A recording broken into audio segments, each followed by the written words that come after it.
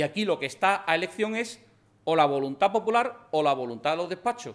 Por eso le pido al Partido Socialista en Cádiz que se ponga de acuerdo con sus alcaldes de la provincia, porque los alcaldes que ganan elecciones están de acuerdo con la reforma y solamente están en contra los alcaldes que no ganan elecciones.